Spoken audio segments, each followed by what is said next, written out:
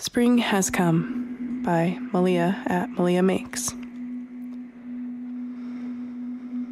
I fight an unseen beast, ambushed by day, haunted at night. Its grip is firm and devastating. I feel cold, dark, worthless, and alone.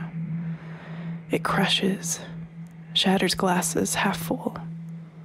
I struggle to breathe with no end in sight. Its words punch me in the gut.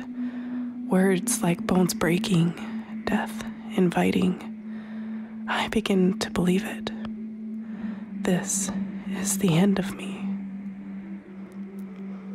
I falter. I pray. Please help me. Please stay. A shimmer of faith, a glimmer of hope. My inner spark is reignited. A sign from above, a message received. Knowledge in need, this beast can be defeated. Can't do it alone. Lord above, I plead, banish this beast, this dark part of me. Heavens are melting, light ripping. Sudden, darkness flees the new dawn, a new season. The beast has run. Spring has come. Growing pains from within, wings sprout, joy blooms.